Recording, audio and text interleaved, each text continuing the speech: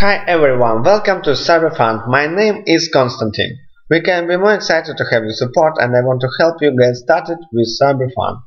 Here is Satoshi Fund portfolio. Here you see a real-time evaluation in BTC and in USD.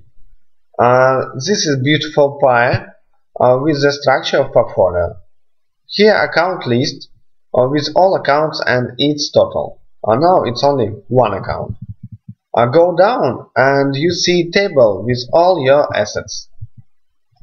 Let's go to profile and we will see from where we take all this data. This is profile page of Satoshi Fund 2014. Here is account name.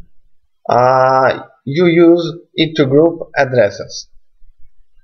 Scroll down. Uh, this is the public key or address and uh, this is assets uh, that it contains. At the left you see social futures, uh, which systems and accounts Satoshi Fund follow and who follow it. Uh, go to my account and I will show you how to create the portfolio.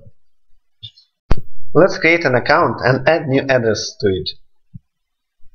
Action button, account name investment, we need address let's take mine. I have 10,000 Storj on it. Now you see that Bitcoin amount is after updated. It is very difficult for us to make all assets now but uh, we do it step by step. So do it by hand. Add asset. Storj. 10,000 Okay, let's look another case. For example, you have your coins on exchange. Again, action button.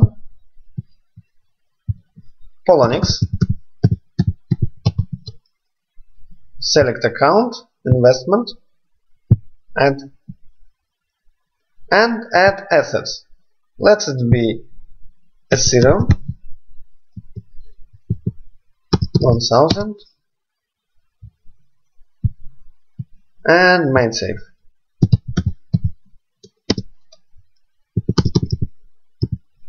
Ten thousand. Okay, uh, when you add your all uh, public keys and all your assets, now you can uh, look your, your portfolio and also you can share your profile to your friends. Just send the link. Okay, let's see portfolio. Amazing! Now you can see real-time evaluation of your portfolio BTC and USD. You can see the structure and you can see list of your uh, accounts.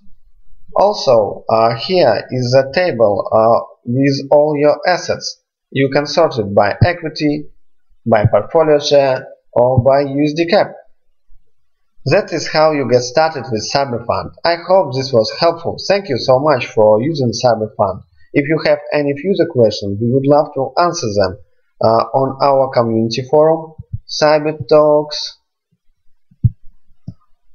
or you can ask them in our social ne network. Thank you. Bye bye.